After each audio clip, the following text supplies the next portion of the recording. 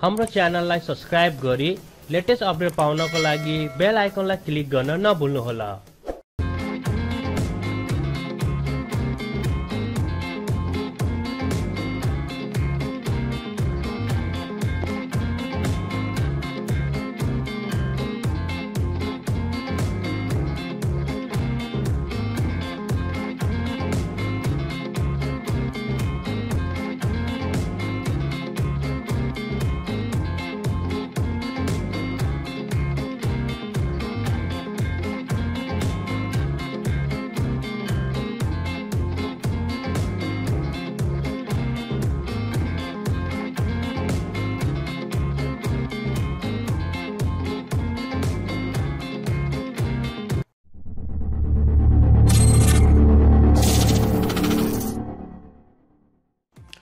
साथीहरू बक्सको बारेमा त अब हामीले के कुरा गर्ने र एकदम ठुलो एउटा बक्स आएको छ। बक्स एकदम ठुलो छ। म चाहिँ डाइरेक्ट चाहिँ यसलाई चाहिँ अब चाहिँ ओपन गर्न गइरहेको छु भनौँ न एउटा चाहिँ अनबक्सिङ गर्न गइरहेको छौँ हामीले। म यसलाई चाहिँ ओपन गर्छु डाइरेक्टली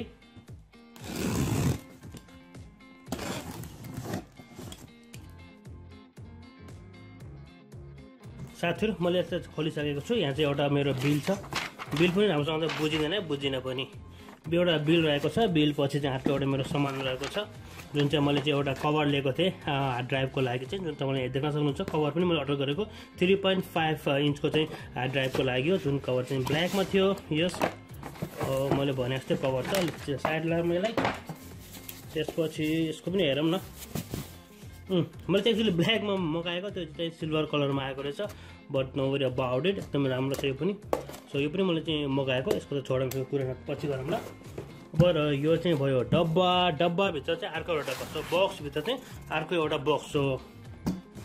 त्यसलाई गरेँ बाहिर र this is the original box र साथीहरू अब चाहिँ हामीले चाहिँ ओरिजिनल बक्सलाई नै खोलाम म बक्सलाई चाहिँ ओपन गर्न गइरहेको छु। लेट्स ओपन बुम टुडुङ यो चाहिँ हाम्रो चाहिँ जति पनि सामानहरू छ स्टुडियो माइकको सामानहरू हो। सबभन्दा माथि चाहिँ हाम्रो पप फिल्टर जुन चाहिँ मसँग छ त्यस्तै हो तर यो त्यही हो त्योभन्दा हल्का राम्रो होला सायद किनभने यो चाहिँ स्टुडियो माइक भएको कारणले गर्दाखेरि चाहिँ हामीले चाहिँ यसमा चाहिँ फुल सेट पाउँछौँ पहिलाको चाहिँ मेरो जुन चाहिँ स्टुडियो माइक थिएन डेस्कटप माइक हो नर्मल त्यसको कारणले गर्दाखेरि मैले डिफ्रेन्ट डिफ्रेन्ट किनेपछि अहिले चाहिँ हामी सबै पाउँछौँ यो पनि क्वालिटी चाहिँ एकदमै राम्रो छ जुन तपाईँले चाहिँ हेर्न सक्नुहुनेछ आई होप द्याट तपाईँले सजिलो तपाईँले राम्रो तरिकाले क्लियरली तपाईँले देख्नुभएको होला यो पप फिल्टरलाई यसलाई चाहिँ म अब साइडमा राख्न गइरहेको छु। र साथीहरू अब हामीले कुरा गरौँ केबलको यो चाहिँ अब यसको केबल भइहाल्यो।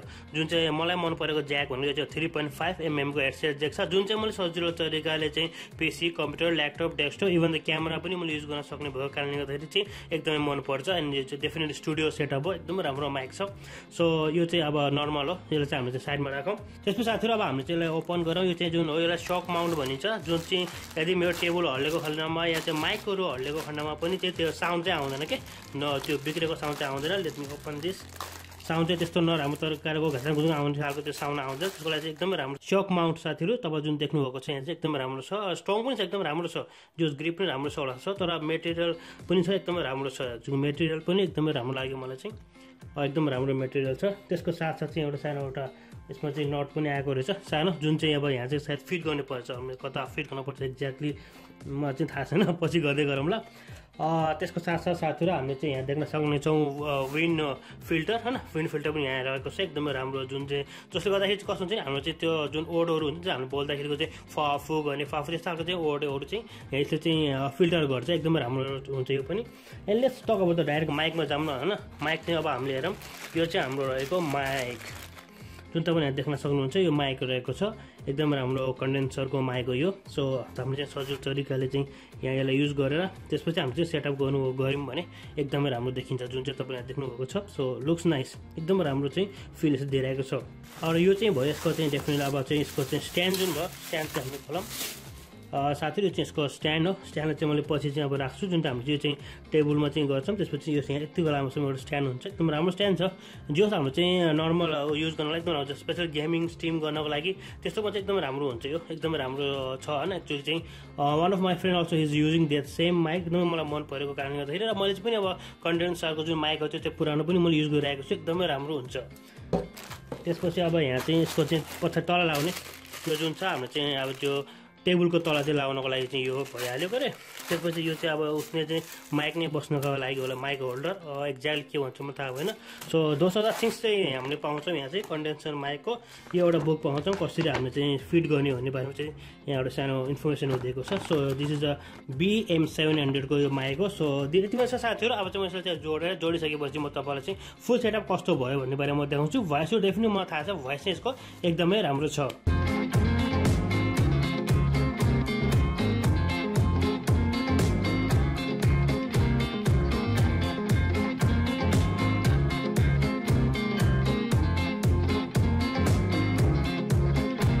साथीहरू मैले सम्पूर्ण सामानहरूलाई चाहिँ निकालेर यहाँ राखिसकेको छु। यसमा चाहिँ एउटा चाहिँ यो अर्डर पनि एउटा एक्स्ट्रा आएको रहेछ। यदि हामीले चाहिँ यो चाहिँ सक छ सक माउन्टलाई चाहिँ हामीले युज नगरेको खण्डमै हामीले युज नगर्न नगरेमा चाहिँ यो पनि युज गर्न मिल्ने खालको रहेछ। तर यो चाहिँ सानो चाहिँ एक्ज्याक्टली फिट चाहिँ हुँदैन। आई डोन्ट नो अब के हिसाबले दिएको या चाहिँ हाम्रो चाहिँ अर्को माइकहरू युज गर्नको लागि स्ट्यान्डको लागि चाहिँ सपोर्ट दिएको होला सायद। हाम्रो चाहिँ अरू माइकहरू युज गर्दा पनि मिल्ने खालको तरिकाको त्यो चाहिँ यो माउन्ट दिएको होला सायद। एक्ज्याक्टली चाहिँ मलाई पनि थाहा भएन होइन? जसमा मलाई लाग्छ त्यही हो एक्ज्याक्ट त्यही नै अब यसपछि चाहिँ हामीले चाहिँ यसलाई चाहिँ अब यसलाई चाहिँ जोडम जोडदार गर्नुपर्छ। त्यसपछि दुईवटा नटहरू रहेछ। यो नट चाहिँ स्पेसली चाहिँ लाग्नुपर्ने भनेको यहाँ रहेछ। यहाँ चाहिँ लाग्दो रहेछ नट। नटलाई यहाँ लगाएर त्यसपछि हामीले चाहिँ यता लगाउनु पनि हुन्छ। म चाहिँ यो भिडियो चाहिँ हल्का फास्ट फरवर्ड गर्न गइरहेको छु।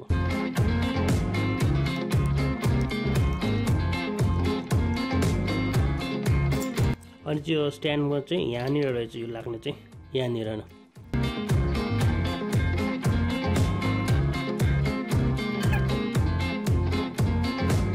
त्यसपछि यसमा चाहिँ यहाँ चाहिँ यहाँ चाहिँ लक छ यसले चाहिँ हामीले यस्तो थिच्यो भनेपछि थिचेर भनेपछि थिच्यौँ भनेपछि हामीले चाहिँ यो माइकलाई चाहिँ सजिलो तरिकाले यहाँ राख्न सक्छौँ। त्योभन्दा पहिला चाहिँ म चाहिँ यसको चाहिँ कपडा लाउन गइरहेको छु। यो भयो। त्यसपछि हामीले चाहिँ यहाँ सजिलो तरिकाले युज गर्न सक्छौँ। यसलाई थिच्यो भने चाहिँ यो चाहिँ हल्का ठुलो हुँदो रहेछ नि सर्ट लगाएर टक्कै राख्ने। सो देख्नु देख्नु यो चाहिँ यहाँ फिट भइसकेको छ। यहाँबाट चाहिँ हाम्रो सजिलो म्यानेज पनि गर्न सकिन्छ। यहाँ पनि एउटा चाहिँ यो छ यसलाई चाहिँ तलमाथि गऱ्यो भने चाहिँ म्यानेज हुन्छ। राम्रो तरिकाले म्यानेज गर्नको लागि। सो एकदमै फाइन त्यसपछि चाहिँ हाम्रो चाहिँ यो चाहिँ टेबलमा राख्नको लागि। टेबलमा जहाँ पनि हामीले चाहिँ अड्काउँछौँ त्यो अड्काउनको लागि चाहिँ यसलाई चाहिँ हामीले चाहिँ डाइरेक्ट यहाँ यस्तो राखिदिने। डाइरेक्ट अनि चाहिँ यहाँबाट चाहिँ हाम्रो टेबलमा त्यो टेबलमा कस्ने योबाट चाहिँ हाम्रो चाहिँ टेबलमा कस्नु चाहिँ मिल्छ।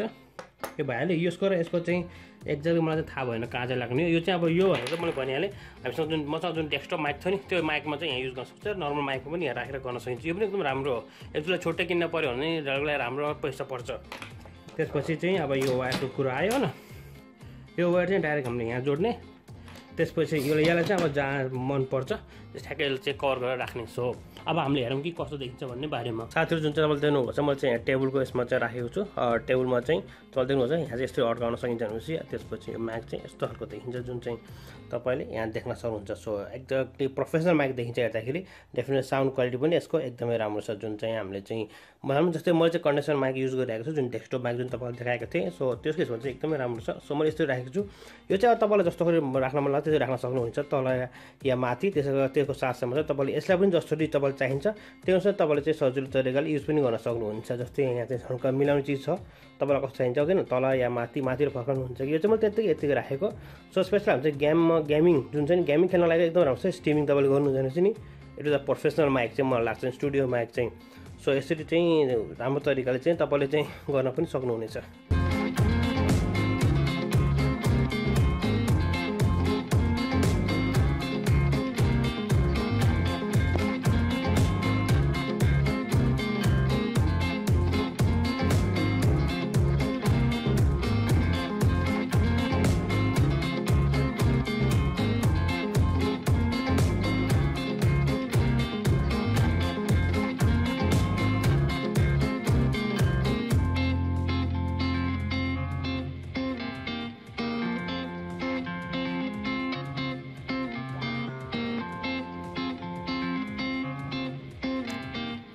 साथीहरू मसँग चाहिँ अलरेडी नै एउटा चाहिँ डेस्कटप माइक छ। त्यो पनि कन्डेन्सरकै डेस्कटप माइक हो। एकदमै राम्रो माइक छ। जसमा पनि तपाईँलाई देख्न सक्नुहुन्छ यसमा चाहिँ युएसबीबाट चाहिँ हामीले चाहिँ कनेक्ट गर्न सकिन्छ र हाम्रो चाहिँ साउन्ड चाहिँ एकदमै राम्रो आउँछ। तर पनि मैले चाहिँ त्यसमा चाहिँ थ्री पोइन्ट फाइभ एमएमको हेडसेट जेक भएको कारणले गर्दा त्यसलाई लिएर आएको र त्यो चाहिँ मैले सजिलो तरिकाले चाहिँ क्यामरामा पनि युज गर्ने सक्छु होइन। क्यामरा पनि युज गर्न सकिन्छ एडप्टरको सकले गर्दाखेरि। So that was the reason कि मैले चाहिँ कन्डेन्सरको चाहिँ अर्को चाहिँ माइक लिएर आएको। एकदमै राम्रो माइक छ साथीहरू। यो चाहिँ डेस्कटप माइक हो। मैले जहिले जहिले पनि चाहिँ कुनै पनि ट्युटोरियलहरू रेकर्ड गर्दाखेरि चाहिँ यो माइकलाई चाहिँ मैले युज गर्ने गरेको छु। एकदमै राम्रो माइक यो रहेको छ।